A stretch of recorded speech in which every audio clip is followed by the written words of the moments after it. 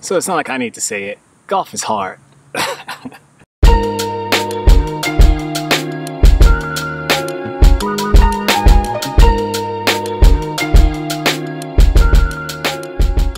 My name is Kennie. You may know me as Kennie Kat.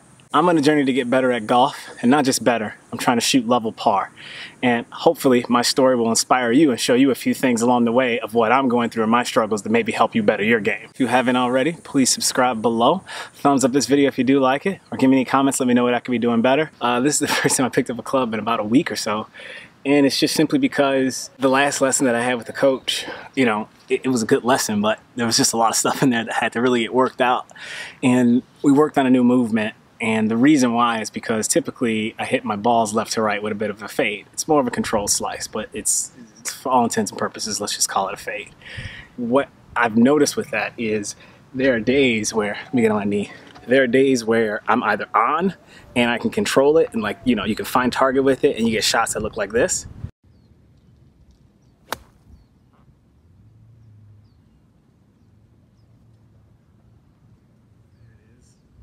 Then there are other days where it is completely uncontrollable and it's like that timing is off by like a split millisecond. And we're only talking about a few degrees here.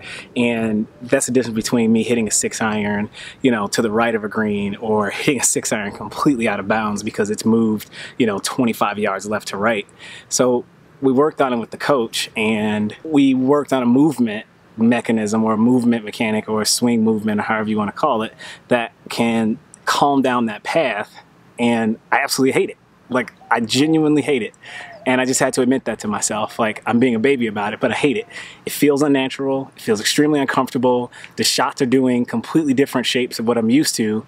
And I realized that I caught myself in the exact same habit that I think a lot of people get into after they have really tough lessons. And this is why I think, you know, uh, a lot of people don't get better at it. And my coach put something on his channel that was pretty cool, where you know he talks about the reason that golfers haven't gotten better is because people haven't gotten better or people haven't changed. Like no one wants to be uncomfortable. No one wants to be struggling and frustrating out here in 104 degree Phoenix sun and trying to work out this new movement to calm down a directional miss. But that's the difference of being better at golf or just staying exactly where you are and stagnating.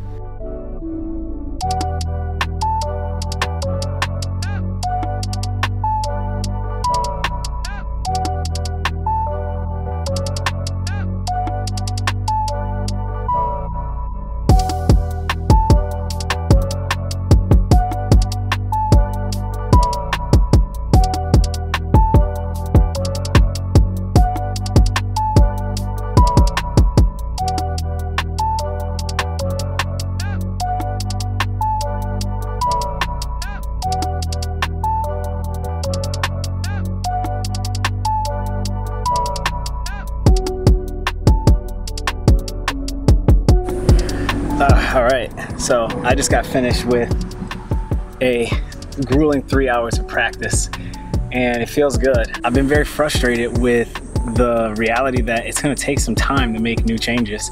And I know everyone talks about going through swing changes and they talk about changing their new swing and like the reality of it is this is something that's gonna take years, if not longer. Like it'll be functional and you know, a few months of working with it and like a few months of practicing at it, you'll be able to find target. I think probably, you know, if I'm practicing an hour or two hours a day, I would say maybe in three, four months, it'll be very functional back to where my scoring stats are now.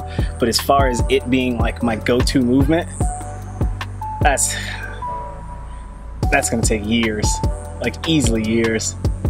And I think we just fall into this trap of thinking that it's going to be so much easier than it really is, and it's not that easy.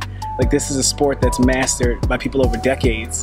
Like some of the greatest players in the world have been playing this sport since they could like walk. That's just kind of where my head was at.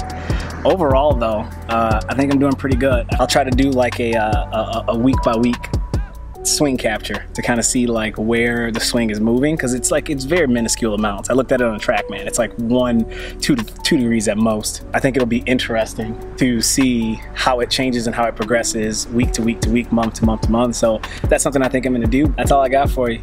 Deuces. Let's keep it moving.